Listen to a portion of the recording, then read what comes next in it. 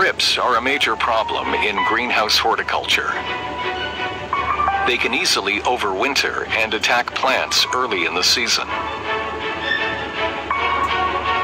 The eggs of thrips are kidney-shaped and are laid in leaves, flower petals, and in the soft parts of stalks.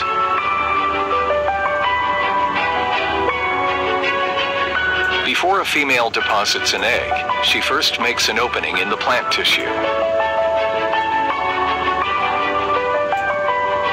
After hatching, the larva immediately begins to feed on plant tissue.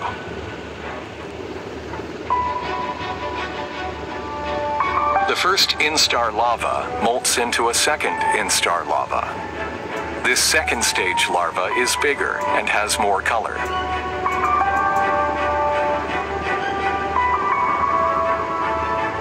At the end of the second instar, the larva usually falls to the ground to pupate.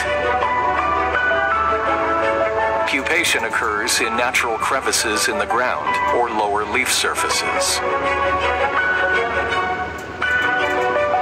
The prepupal and pupal instars are recognizable by their developing wing buds.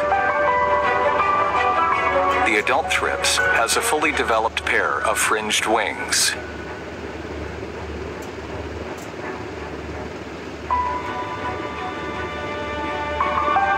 Thrips cause damage to the plant by piercing the cells of the surface tissues and sucking out their contents, causing the surrounding tissue to die.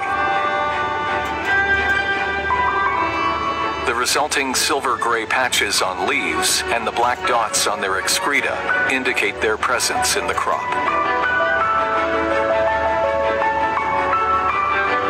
Thrips are also responsible for the transmission of viruses. Luckily, they can be controlled by a range of natural enemies. Check out our YouTube channel and website for more information.